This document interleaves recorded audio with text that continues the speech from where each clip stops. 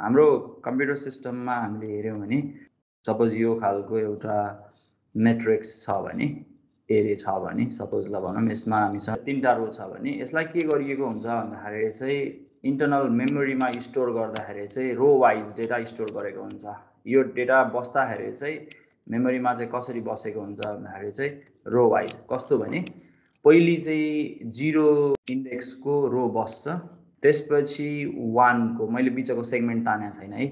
त्यसपछि वानको बस्छ है अनि त्यसपछि टूको बस्छ भनेको हाम्रो जुन मेमोरीमा चाहिँ यो जुन टु डाइमेन्सन जुन देखिरहेछौँ र थ्री बाई फाइभ भन्ने यसमा होइन पाँचवटा कोलम छ भन्यो यो थ्री बाई फाइभको यो हाम्रो मेट्रिक्स चाहिँ हाम्रो मेमोरीमा बस्दाखेरि चाहिँ यसरी बसिरहेको हुन्छ।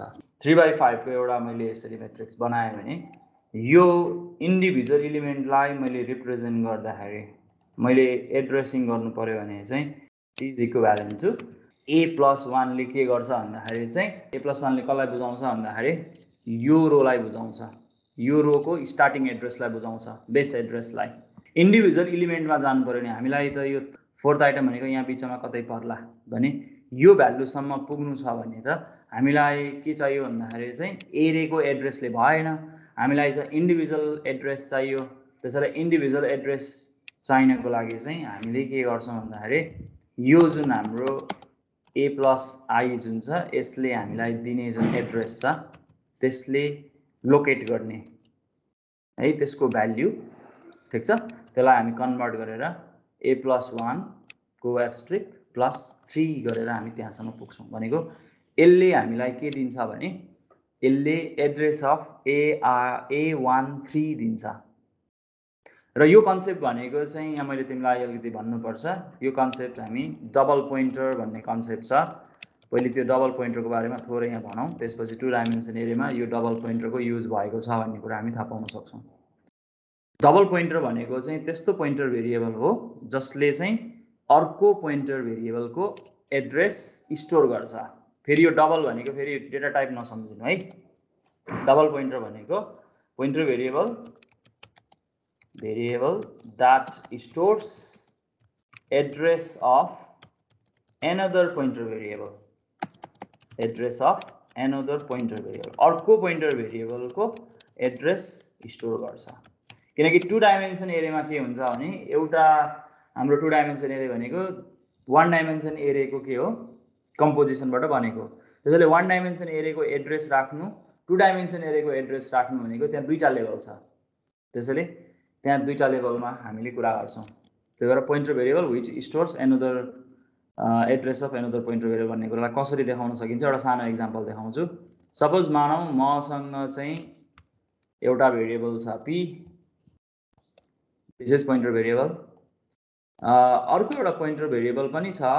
सपोज मानौँ मसँग अर्को पोइन्टर भेरिएबल छ सपोज मानवलाई मैले क्यु भने। एन्ड एउटा भेरिएबल छ द्याट इज ए भिजुअलाइज गर्नलाई मात्रै चित्र बनाएको है मैले। सपोज यो ए भन्ने भेरिएबल चाहिँ एउटा इन्टेजर डेटा हो यसमा केही भ्यालु बसेछ। यो पोइन्टर क्युले एलाई लोकेट गर्न सक्छ। भनेको हिजोसम्मको कुरामा हामीले क्यु भन्ने भेरिएबल एउटा पोइन्टर भेरिएबल हो जसले ए को एड्रेस राख्छ। तर अब यहाँ रमाइलो के भयो भन्दाखेरि q is a pointer variable which is located by p. And p is also a pointer variable. यहाँ लेभल हेऱ्यो भने यो भेरिएबललाई लोकेट गर्ने क्यु यो क्युलाई लोकेट गर्ने पी अब यदि हामीले पी युज गरेर एलाई लोकेट गर्नु पऱ्यो भने यो पी भनेको चाहिँ डबल पोइन्टर भेरिएबल हुन्छ। एक्ज्याक्टली यहाँनिर यो टु डाइमेन्सन एरियामा भइरहेको के हो भने this is the two dimension array's pointer भनेको यो ए भनेको चाहिँ हाम्रो टु डाइमेन्सन एरियाको पोइन्टर भयो। यो क्यु भनेको चाहिँ यो भ्यालु भयो ए प्लस वान त्यो भनेको रोलाई रिप्रेजेन्ट गर्ने पोइन्टर भेरिएबल भयो यो क्यु त्यहाँ त नाम हुँदैन तर हामीले चाहिँ यहाँ नाम दियौँ। अनि यो क्युले एलाई लोकेट गर्छ भनेको ए भन्ने एउटा भेरिएबललाई लोकेट गर्छ भनेको इन्डिभिजुअल भेरिएबल यो थ्रीमा भएको एउटा कन्टेन्ट सपोज मानौँ थ्री नलेखौँ। यो थ्रीमा एउटा हामीसँग सिक्स भन्ने कन्टेन्ट छ भने यो सिक्स भनेको चाहिँ यहाँ ए भयो। त्यसैले यसलाई पी मार्फत लोकेट गर्दा हामीले यसरी एड्रेसिङ गर्न सक्छौँ। अब मैले यदि ए को एड्रेस भन्नु पऱ्यो भने कसरी लेख्नुपर्छ यहाँनिर भने यो केसमा है डबल पोइन्टर भनेको कसरी बनाइन्छ हामी युज गर्न पनि पाउँछौँ सी ल्याङ्ग्वेजमा डबल पोइन्टरलाई यसरी क्रिएट गरिन्छ। सिङ्गल पोइन्टर यसरी क्रिएट गरिन्छ। एरेमा त त्यो गर्नै पर्दैन एरे त आफैमा पोइन्टर हो होइन? अनि हाम्रो नम्बर नर्मल भेरिएबल हामी यसरी क्रिएट गर्छौँ। डबल पोइन्टर भनेको चाहिँ यो हो। यसले अर्को पोइन्टर भेरिएबलको एड्रेस राख्न सक्छ। ट्रिपल पोइन्टर भन्ने पनि हुन्छ। त्यो भनेको डबल पोइन्टरको एड्रेस राख्नेलाई ट्रिपल पोइन्टर भन्छ। यो यसरी हाइरार्कीमा जान्छ। तिमी त्यतातिर अहिले नजाऊ। तिमी अहिले मात्र टु डाइमेन्सन एरियाको कुरा बुझ्न खोज्दैछौ। त्यसैले हामी यो कुरालाई रिप्रेजेन्ट गर्दाखेरि हामी यसरी रिप्रेजेन्ट गर्न सक्छौँ। त्यसो भए मलाई यो सिक्स भन्ने भ्यालु चाहियो भने म कसरी रिट्राइभ गर्न सक्छु भने यो केसमा हेर्दाखेरि नै हेऱ्यो भने हामी यसरी लेख्न सक्छौँ। एब्सट्रेक्ट ब्राकेटमा ए प्लस वान मैले त्यही पोइन्ट उसलाई लेखिदिएको ल ए वान थ्रीको भ्यालु डिस्प्ले गर्नलाई प्लस थ्रीको होल ब्राकेट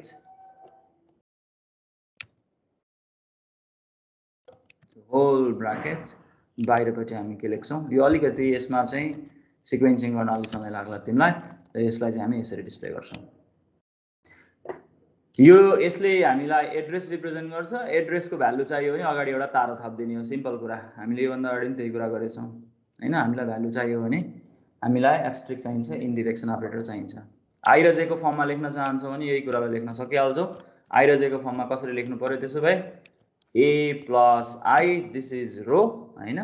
प्लस जे हामी यसरी लेख्न सक्छौँ। भन्न खोजेको which is equivalent to two डाइमेन्सनमा चाहिँ अलिकति झर्को हुन्छ होला। किनकि टु डाइमेन्सनमा त हामी एरेको नोटेसनमा त सिधै यति लेख्न सक्थ्यौँ। र एड्रेस अफ एआइजे भनेको चाहिँ asterisk A plus I plus J हुन्छ। ए प्लस आई भनेको चाहिँ यसले रो रोको एड्रेसलाई बुझाउँछ। रोको एड्रेसलाई यदि तिमी कोलमतिर जानु पऱ्यो भने इन्डिभिजुअल डेटा भएर कोलममा जानुपर्ने हुन्छ। त्यसको लागि तिमीले यसलाई डिडिफ्रेन्सिङ गऱ्यौ यसले इन्डिभिजुअल कोठा कुन चाहिँ रोको पहिलो कोठालाई बुझाउँछ। ए प्लस आईले चाहिँ रोलाई बुझाउँछ। यसले चाहिँ त्यो रोको पहिलो कोठालाई बुझाउँछ।